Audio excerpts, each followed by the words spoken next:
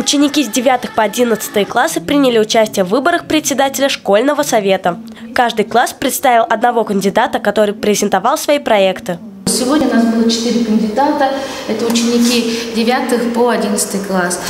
И сегодня в ВКонтакте школе 21 все дети узнают, кто же победил. Я планирую создание творческих групп, проведение мероприятий. Хотелось бы, чтобы в нашей школе наконец-то началось шефство над первоклассниками. На переменах происходили небольшие флешмобы, игры, мастер-классы. У нас сейчас идет четвертый заключительный форум. А среди начальных классов лучшим был форум третьих-четвертых классов.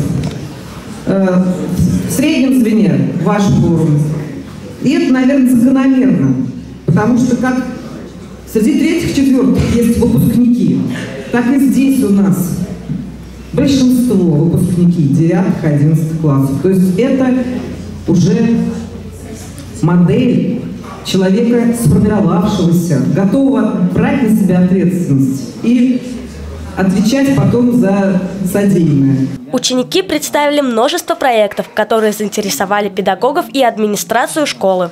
Также, если у кого-то из участников выборов было много полезных и интересных идей, то они просто могли подойти к председателю, который поможет воплотить их проекты в реальность. По итогам выборов председателем школьного совета стала Анастасия Костромитина. Ее избрали 148 подростков.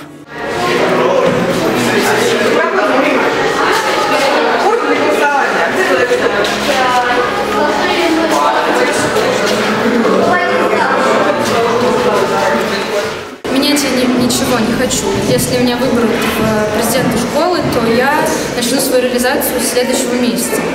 Хочу я вести это, так сказать, домашний кинотеатр в школе.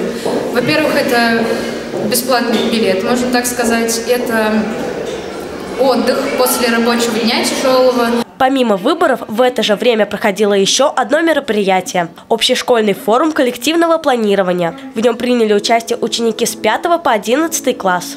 Ребята представляли свои проекты, над которыми они будут работать в течение всего года. Одна из идей – озеленение пришкольной территории.